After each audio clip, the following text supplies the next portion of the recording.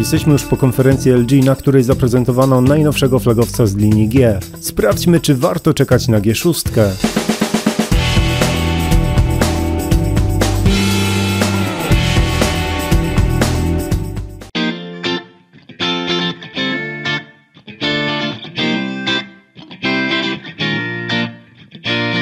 Głównym mottem całej konferencji była możliwość obsługi smartfona jedną ręką. LG chwaliło się, że 5 i 7-calowy wyświetlacz o proporcjach 18 na 9 pozwoli na takie doświadczenia. Ja jednak jestem nastawiony do tego trochę sceptycznie. Z jednej strony dzięki zastosowaniu kinowych proporcji smartfon jest węższy, ale też dłuższy, co sprawi, że sięganie do góry ekranu za pomocą jednej ręki będzie prawie niemożliwe. No dobra, ale po kolei. G6 może pochwalić się 5 i 7-calowym wyświetlaczem 2K, wykonanym w technologii Full Vision i obsługującym takie technologie jak Dolby Vision czy HDR10, ale to są tylko bajery. Ważne, żeby ekran smartfona nie odbiegał jasnością od konkurencji, jak to miało miejsce w poprzednim roku. No dobra, ale jaką przewagę daje nam stosunek ekranu 18 na 9? Przede wszystkim jest to standard kinowy, więc film oglądamy bez czarnych pasów, na dole czy górze ekranu. Dłuższy wyświetlacz sprawia też, że mieści nam się więcej treści w trybie wertykalnym. LG chwaliło się również, że w sklepie Play pojawi się kilka gier obsługujących ten standard,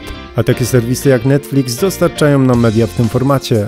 Nie mogę się jednak oprzeć wrażeniu, że więcej jest minusów tego rozwiązania aniżeli plusów. Przede wszystkim przeglądanie aplikacji w trybie horyzontalnym będzie ograniczone ze względu na węższy ekran. No i co z takimi serwisami jak YouTube, w których większość filmików prezentowana jest w aspekcie 16 na 9 Czarne pasy po bokach? Jakoś mi się to nie widzi. Przejdźmy jednak do kilku rzeczy, które podobały mi się w LG G6. Przede wszystkim wodoodporność w postaci certyfikatu IP68 i zwiększenie baterii o 500 mAh, przez co dostajemy baterię o pojemności 3300 mAh. Kolejną rzeczą jest ulepszony aparat szerokokątny.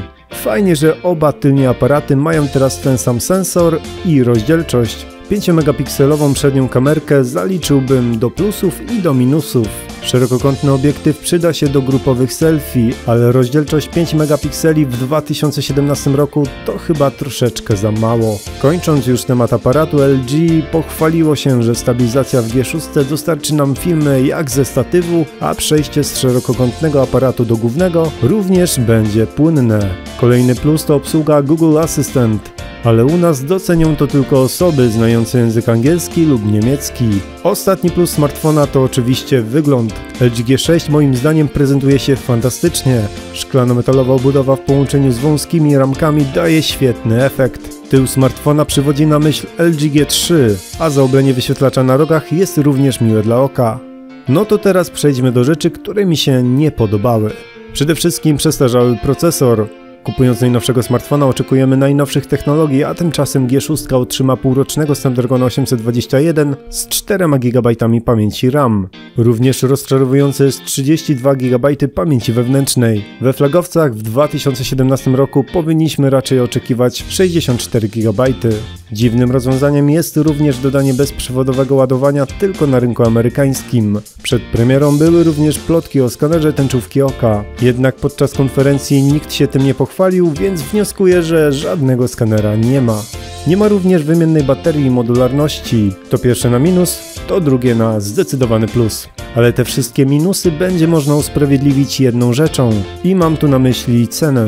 Jeśli LG wyskoczy z horrendalnie wysoką ceną, wyższą od 3000 zł, to nie wróżę im sukcesu.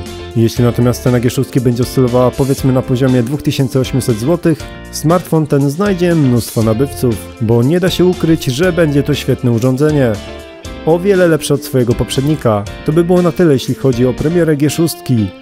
Mam nadzieję, że materiał Wam się podobał.